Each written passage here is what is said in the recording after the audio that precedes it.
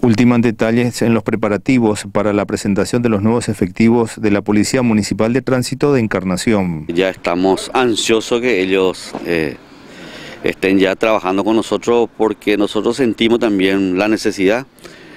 Así que hemos eh, planteado al señor Intendente esto y agradecerle su buena predisposición porque no es fácil hoy día para ninguna empresa eh, privada, institución pública, a que eh, pueda tener la posibilidad que ingrese 30, 31 personas a que pueda ofrecer su servicio, pero obviamente los servicios son pagados, así que ahí está muchas veces el inconveniente para muchos, entonces en ese sentido nosotros una necesidad eh, tremenda también lo que hoy día exige la ciudad de Encarnación, la gente, se merecen también los contribuyentes, entonces en base a eso este, hemos coordinado con el señor Intendente, él entendió la, solicitud mía que yo le he realizado, entonces ya estamos ya en la última parte prácticamente y si Dios permite, yo creo que la, la otra semana, el lunes, eh, ojalá que así sea, ya ellos van a estar prestando su servicio en la vía pública con nosotros. A partir del lunes que viene.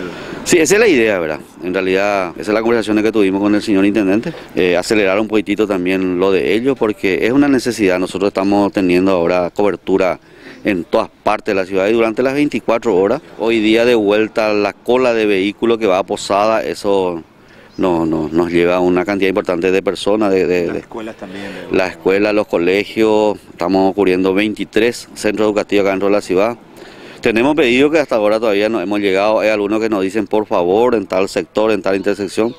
Y bueno, aguardando estos nuevos compañeros también para ir complementando y por sobre todo también cubriendo la necesidad de la gente, por sobre todo también. ¿Ya están los uniformes, está todo para, para ellos? En eso estamos, estamos en la última parte ya. Si os permite esta semana, seguramente que la idea es que el viernes más o menos a que yo ya le pueda presentar ya oficialmente al señor intendente ellos ya uniformados los nuevos efectivos, entonces esa última parte ya prácticamente estamos trabajando en este momento con ellos. De un total de 31 nuevos efectivos de tránsito estarán desde la próxima semana, de un total de 16 mujeres y 15 caballeros que estarán al servicio de esta dependencia.